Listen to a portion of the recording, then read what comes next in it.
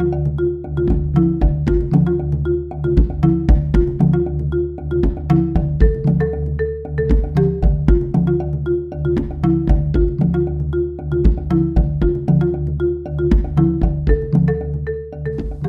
gang, this is Doc, docsdetecting.com. I've actually had some of my really good friends threaten me with death if I don't hurry up and tell you about the DALAS rod. Detector Airlift Assist System. There's the rod and there's the strap. Um, the rod is complete, the rod will function.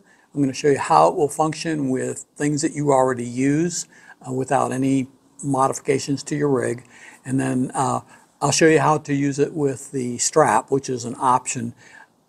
It's not necessarily, I'm not quite sure the way the strap is going to work yet. I think it's going to be one of those things where you're going to decide how to best attach it to yourself.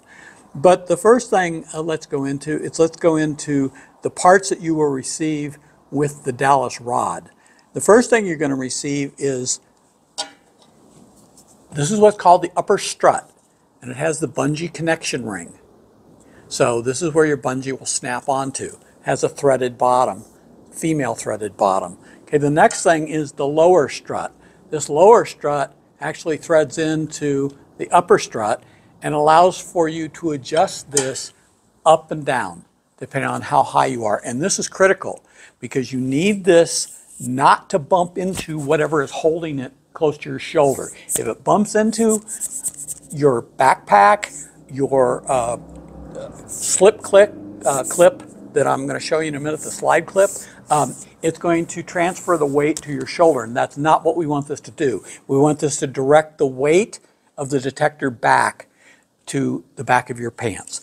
All right, so upper rod, where you connect your bungee, okay, the lower strut, okay, which goes into this paddle. Now you've all seen if you if you're carry a, a concealed weapon, uh, you've all seen paddle holsters. They're extremely comfortable.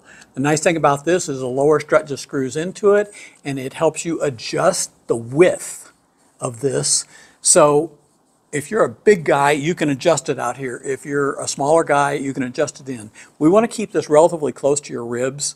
Okay, the reason being is because that way your arm doesn't bump into it and it's not annoying for you.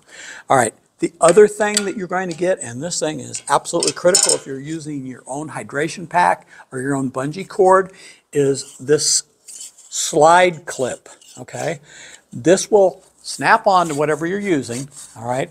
And it allows this to slide up and down. And that's, again, very, very important. I can't express how uh, uh, important that is because if you've got it like this, you're not going to get the benefit of, of this particular item. Okay, it needs to be able to move up and down freely so the weight is redirected and transferred to the back of your pants where you're not going to feel it because all it's going to do is push your belt out. All right, the other thing that you're going to get is the Qwipple Bungee. All right, the Qwipple Bungee is something that I recently redefined. We had the Quiggle Bungee, now we've updated it with the Qwipple Bungee because it makes things really easy to adjust your detector. This alone, we sell this alone for $30, um, and that comes with it. The other thing you're going to get is you're going to get a little parts package. Okay, so little parts package has four stainless steel screws in it. It has a little Phillips screwdriver. It also has a drill bit, so you'll drill the exact size hole that you need. This upper strut where you attach your bungee, it has two little guide holes. And the purpose of that is, so once you get this adjusted to the proper height, okay, you can tap those holes, put your two stainless steel screws in, and then we give you two more stainless steel screws because it depends on you, okay? If you want this to be free swinging, okay, so when you bend over, all right, you can leave this just the way it is, just screw it in. If you want to lock it into place, okay, you can do that as well. Hey gang, this is a little breakaway from the video I was doing. Yesterday I was explaining how to put the DALAS rod together and there's one thing that I neglected to tell you that's really important for the final adjustment on this. Um, as I said, when you screw your bottom strut into the paddle, you can leave it free swinging, okay? You don't have to secure it with the two little stainless screws. I would advise that you do secure it. And I'll tell you why, because what happens is even though this is going to be hooked to your backpack or your hydration pack, the weight of the detector is going to pull this forward when it's free swinging. All right. So what you want to do with the weight of the detector on it, make sure you've got the weight of the detector on it. And you're going to need two people to do this one time just to get the adjustment right. With the weight of the detector on it, pull this back, okay, tight against your shoulder, come back here and make sure that the paddle is flat against your back. I don't know if you can see that. Okay, and have somebody mark it, okay, with a little, have, the, have them mark it right across where it screws in at from the lower strut onto the paddle, okay. Now, when you take it off, okay, you can see this one, I've had this one marked, all right. Have somebody mark that with a, with a marker, a little felt tip. All right, now adjust this correctly. You might even want to come back maybe just an eighth of an inch and put, drill these two holes and put those two stainless steel screws in here. What that keeps us from doing is coming forward too far because when you rotate here, I mean, it's a nice idea to have this rotate and move with you, but the fact of the matter is, it also gives your detector the ability to swing forward and you can lose the effectiveness of this transferring the weight correctly because if it gets too far forward, it's, it's, it's just pulling down. It's not transferring the weight to the back of your pants.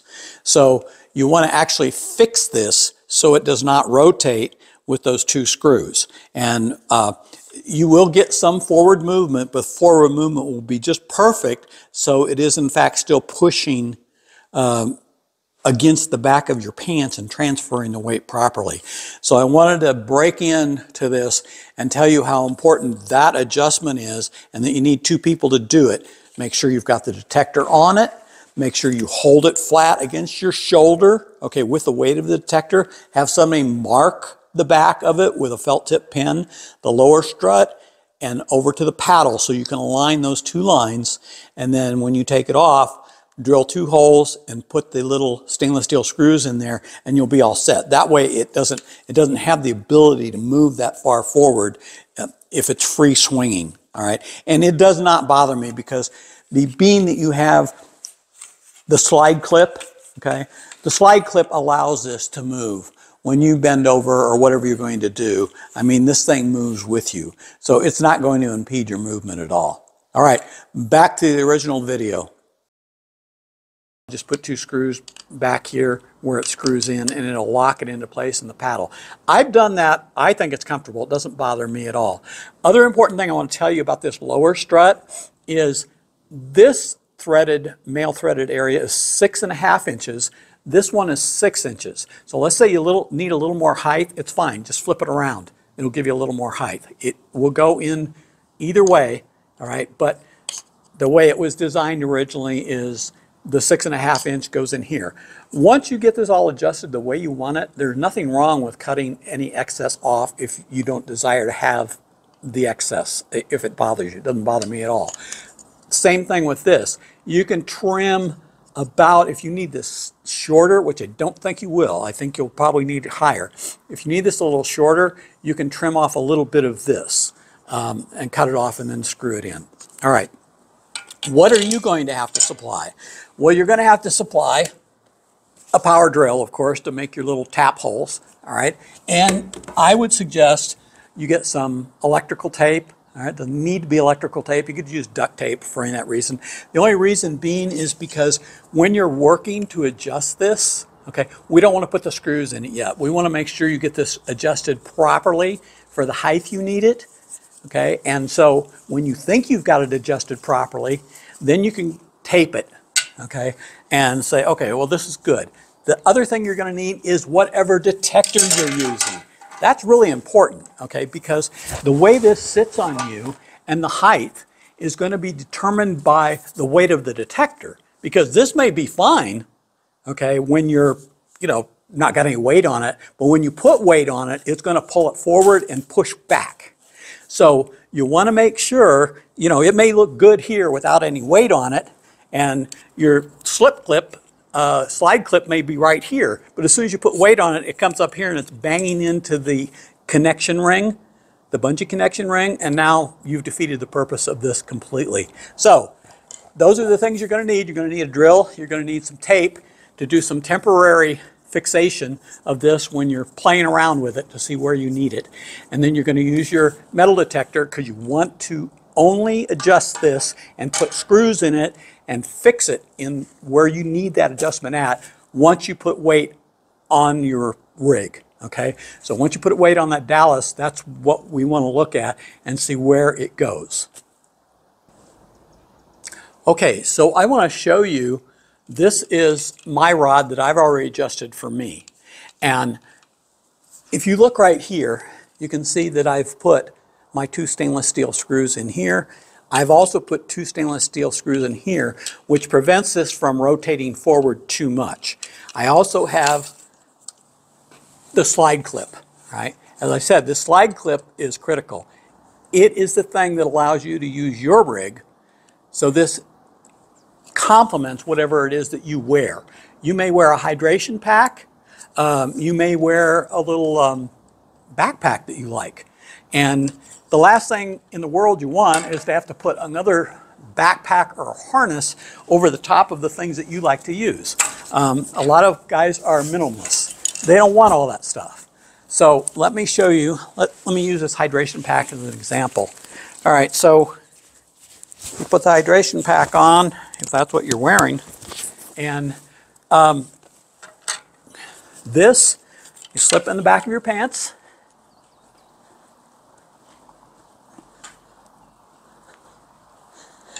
All right, this comes up here.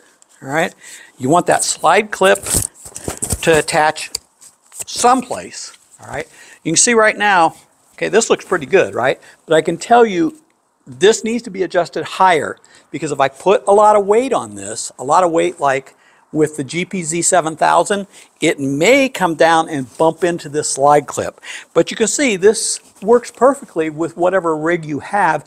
You just have to make sure this is high enough. That's why I tell you, make sure you test this with your metal detector. I'm going to come back in a few minutes and we'll talk about attaching the Qwipple bungee to your detector and how that works and how it makes your life a lot easier. But right now, let me show you what happens when I attach the GPZ 7000 to this, and you'll see how it, it makes a difference and why you absolutely need to uh, put weight on this rig. Okay, so I'm going to step over here and so here I am and I'm going to take my dropped my Saga, which uh, as you can see it didn't break when I dropped it, like some swing arms that we know about. All right, so take the Qwipple bungee, trying to hook it to everything but where it's supposed to go, clip it on here, okay? You can make your gross adjustment down here, just tug it up in there, then you make your fine adjustment right here. Okay, so there you go. Look at that. Look at. There's nothing to it. Okay, this takes all the weight off. This is about as good a rig as I could figure out. And I've been working on this for four years. I've taken a look at all the crazy contraptions that have been out there that have been so-so they've been really good attempts, but I wanted something that would work perfectly and work without having something additional on you. You can use this with whatever you're wearing.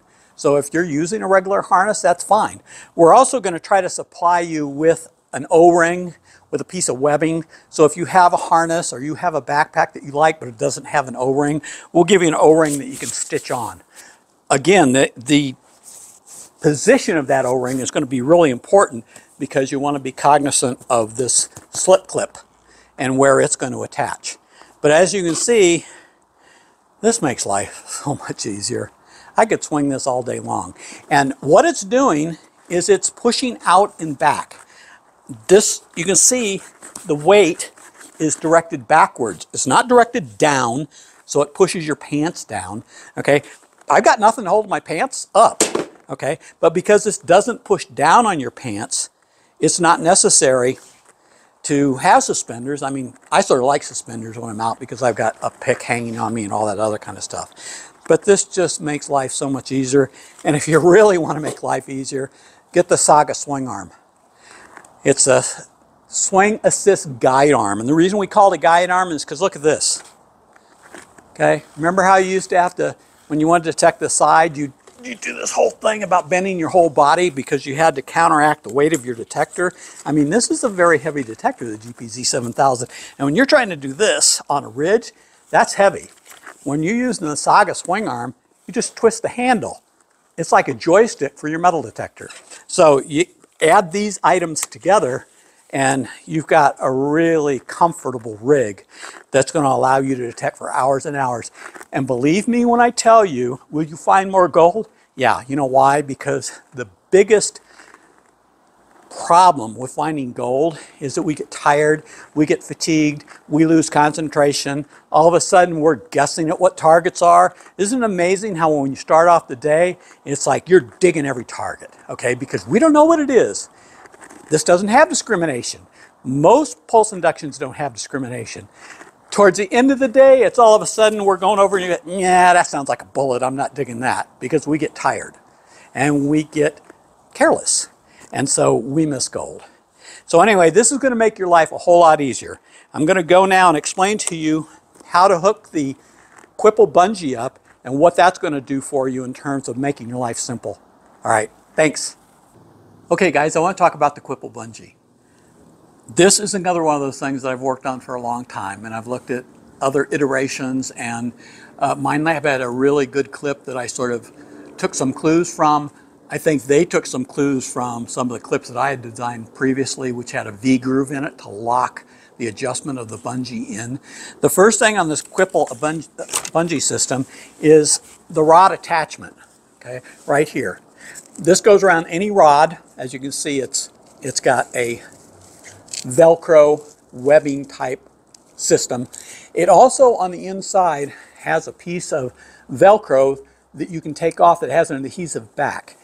I would advise when you first put this on, take that Velcro off, leave the adhesive back in place, okay? And you want to decide where you want this. Do you want it up or down the rod? Do you want it to the right? Do you want it to the left? I'm right-handed, so I'm going to do my adjustments with my left hand. That means I sort of like this tilted a little to the left because I can adjust the, the bungee easily that way. So I would suggest first just put it on, play with it for a while. The other thing is it's critical that when you put the bungee on this, and this bungee goes in easily, easily attaches because it's got a little slide groove right in the side that you can put that bungee right in the side, pops right in. Okay, when you, when you first do this, okay, take your bungee off of whatever you got attached to and lock it in here at the top on the hook, okay? And then hang it. Don't let it slam into the ground, but hang it like this and make sure that you've got it balanced. You see that? Because that's the way you're going to detect. You don't want it front heavy because if you've got it here, guess what? It's going to be back heavy. So what's that mean? Well, that means you're going to have to roll your shoulder forward to keep the coil on the ground. And if it's way too far back, it's going to be front heavy. And if it's front heavy, you're going to be doing this with your elbow all day long to keep that coil up because it's slamming into the ground. So you want it perfectly balanced like this. You want it to mimic what it's going to look like when you're detecting. Okay, I'm going to show you how to adjust the bungee, the Qwipple bungee, so it makes your life easy. First of all, right here, as we explained, this is where you can adjust this very easily to do your gross adjustment. You just lift your detector up and down. When you find out where approximately you want it, just tug it up into the groove. If you want to remove the bungee completely, just take it out the side groove. All right, so those are the two things you do. All right, it pops right back in very easily. So what I suggest is that you, I want to show you this as well before we get into this. Okay, this is your adjustment clip that goes on your ring, whatever ring you're using, okay? So you see the adjustment clip? It can be adjusted on either side. It makes no difference which end you put here and which end that you leave open because it's ambidextrous. So there's three ways you actually can adjust this. So we'll put that on here. We'll come back and what you do, make sure I don't end up at the pool, is lift your detector up, okay, first, and grab down and grab that bungee, pop it out of the V-groove, lift your detector up a little, and then lock it into the V-groove. Now, as you can see, it's still on the ground, so I don't have it properly adjusted, but that's great because all you got to do is come here to make your fine adjustments. All right, so you just pull down on this, just like you did with the V-groove down there, and raise it up and down. It's sort of like a pulley system. Okay, and once you get it to about where you think you want it, just pull it up. Now look. Now my detector is just floating, okay? And it's a proper distance right off the ground. I mean, it's, it's rubbing, okay, but it's not digging into the ground. You can hear it, obviously. Okay, so that's the beauty of this. The other beauty of this is, let's say you go start to go up a ridge. You go up a ridge, guess what's going to happen? Well, look, your bungee slack, right? Pull it down, pull it up. It's readjusted. You don't even have to break a swing. So that's the advantage. The other thing that I want to advise you of is the swing assist guide arm. Uh, this makes life so much easier because I know a lot of people have seen swing arms. This is not a swing arm. This is a guide arm. This is something that's like a joystick for your metal detector. You know what happens when you're in a gully and you're detecting a gully and now you, you want to you want to detect the side of the gully, right? And you want to get up behind the bushes. Well, do you know how heavy this detector is? Especially, it's a brick on a stick. So your whole body, and boy, I can feel this right in through my elbow and up into my shoulder. Your whole body is counteracting the weight of this. With the guide arm, you take this little egg-shaped handle, you twist it, and you don't have to do anything. You have complete control. Okay? And it all is due to this swivel joint that I invented down here. Okay, that's what allows you to have the control. That swivel joint needs a piece of double-sided tape on it to put it in position. Um, I didn't put double-sided tape on it, but it helps a lot to flip it where you want to go. You can go overhead. You can do the side of mine walls. You can do anything you want to, and it's not going to kill you. So hopefully all this information gives you some insight into what you can do. Still working on the detector airlift assist system strap for guys who don't have any kind of a harness system, but that'll come later. I've got some ideas, I'll share them with you. And like I said, I think this is gonna be one of those things where you're gonna have to figure out how it works best for you. Thanks for watching guys, and thanks for your patience. Things like this do not happen overnight. It takes a while to perfect things to make them work perfectly because all my brand, my brand is called Nugget Stalker. It's a registered trademark in the United States and in Australia. I want all my Nugget Stalker brand products to be the very best things that you've ever used. Thanks a lot. I'm back, gang. DocsDetecting.com. I promised you I would show you the DALAS strap. Okay, started working on it. I think it's about as close as I'm going to get, but I'm welcome your input as always. I wanted to make something relatively simple for you to use the DALAS rod on if you don't have a hydration pack or you don't use a little backpack or something like that because you have to have something to attach this to. Now in this instance, I am not using the slip clip, okay, right here because I'm not going to need it with the DALAS strap. But I'm going to advise you guys, do not lose this just leave it on there. It's not going to get in the way because this is an important thing to have if you ever decide you do want to use a hydration pack or a backpack or something. This is essential because that's what attaches it. All right, so with the, the DALAS uh, strap, just put it up through the little, the little webbing strap there. Just drop that down out of the way. Bring it to your back and put it in your, in your waistband, the paddle. All right, so there you go. And that's as simple as it is. I wanted to give you something that was padded, but something was simple and not obtrusive. So this is what I came up with. Of course, we're going to give you plenty of webbing so you can make your adjustments, but I've actually found this is the best way to do it. Attach it here and then bring it around here. I'll show you an alternate way to do it as well. You're probably going to figure out your own way that you like it, but this works great if you don't have something and it's minimal, okay? It's not, it's not interrupting or interfering with anything. It's not like a big heavy um, backpack or a hot backpack. So here we go. You take your Qwipple bungee, you put it on, and of course, as we spoke before, you adjust it where you want it, and there you go. Okay? So the only thing I'm I'm a little leery about is that this has a tendency to pull forward more. It's still pushing the weight out back here on your belt, but I don't know what the solution is to holding this closer to you.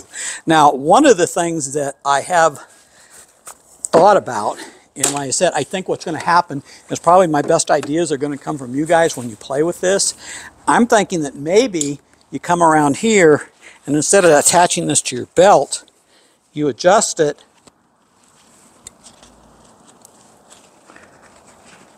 open this up just a bit and clip it on here. Okay, all right. See, that seems to hold it better. And I have a feeling that that's going to be the way that most guys prefer to do it. So, because it's, uh, it just seems to be, adjust this a little better. It just seems to be not hanging out so far away from you. It seems like you have a little more control of it this way. But uh, like I said, I'm just trying to make it simple uh, because I know you guys don't like complicated. So that's the DALAS strap. And like I said, if you guys have any input on this, I'd be happy to hear it. Uh, this is another one of those things that as you use this, if you're going to use a strap, that's why you don't want to necessarily put these screws in right away. Play with it and see. As you see, this is sort of turning outward, and it has to do with the fact of, of the position of this little strap. So when you put this in, if you haven't put the screws in, you may want to twist this upper strut and twist it inward, tape it, and then go ahead and drill your holes to adjust it if this is what you're going to use. So this is probably something you guys could make yourself. But this is the strap that I've got so far, and like I said, it's just uh, it's an alternative if you don't have a backpack or hydration pack or some way to attach this with the slip clip that we give you, the slide clip. All right, bye. DocsDetecting.com.